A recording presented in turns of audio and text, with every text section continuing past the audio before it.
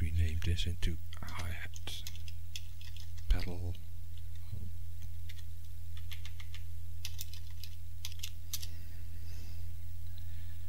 So if I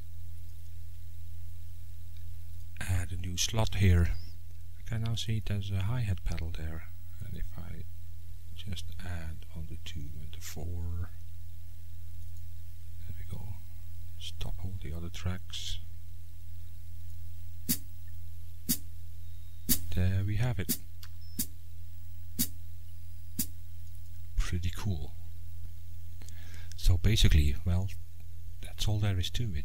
Um, once you have one instrument uh, in your drum rack, you can add more, of course, uh, just using the same procedure.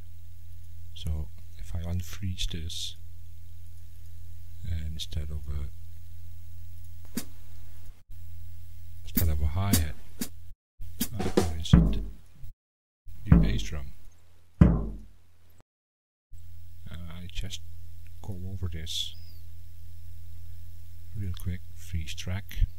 I'm gonna copy this once it's frozen. Okay, rename this because this is the kick. There we go. Unfreeze. Uh, I have the WAV file now. Trim it. Uh, yep, like that. Crop sample. I can uh, add sample file, edit in Audition. Do the same thing again, find the markers. Uh, seems to be slightly off. Oh no, it's okay. So slice it, copy to new, go here, second part, copy to new, there we go. I can close this one, no need to save. Trim a bit at the end.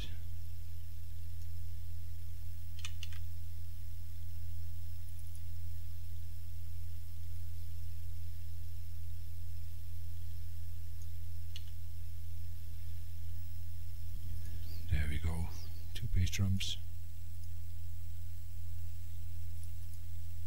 There is one, and there's the other one.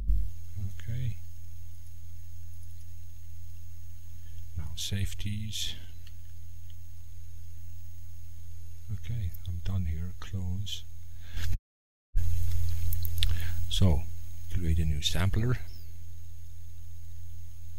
find my two kicks. Okay, they're in the sample folder. Waveforms. Two demos. Yup. Drag and drop.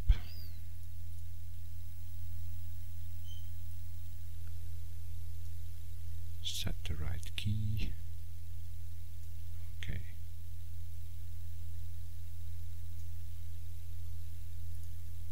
Velocities. Okay, closing this again.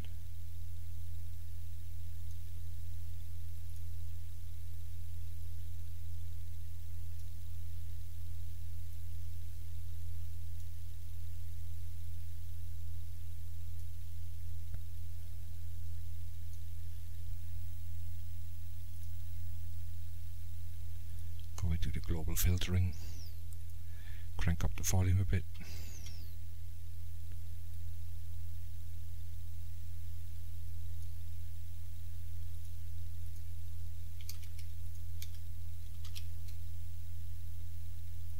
Set it to trigger, no re-triggering, voices 4 should be enough. Mm. Oh yeah, this is a nice one. Uh, what I'd like to do, actually, I saw that in one of the uh, default drum racks, is uh, when the velocity changes, you can change the pitch of the sample slightly. So at higher velocities I want the sample to uh, uh, pitch up a, a, bit. Not much, just a little bit. Uh, I'm just gonna set it really high so you can actually hear what I'm doing or wh what it does. So find C3 on my keyboard.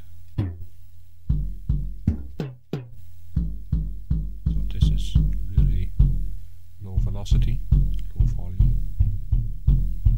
It sounds low. If I hit it really hard, it sounds pitched. Of course I don't want it that high.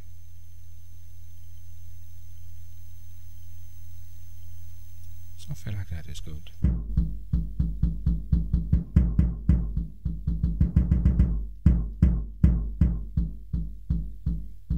Gives it a bit more of a of a real drum feel.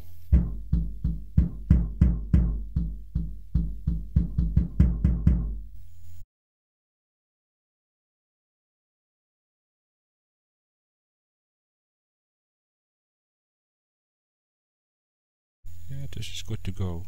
Uh,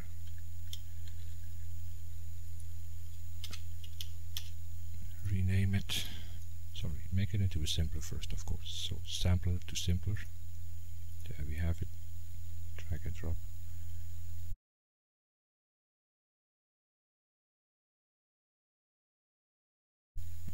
There we have it. I can now delete that and now add the kick to my drum rack. So now I have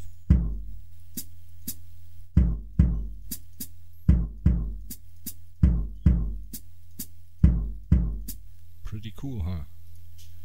Okay. Next thing I'm gonna do is rename this. Okay, done. And now I can save this in the drum racks here there is already one so just gonna add there we go and now I have my very own drum rack that I just can drag and drop into any file. And of course I can still make changes to it. So here it is. It's my my drum kit. Um, the pieces in here I can still edit those. So as you can see simpler I can still go to the sampler uh, maybe make some uh, adjustments then save it again or whatever um, so it's your own very own uh, drum rack. You can do with it whatever you want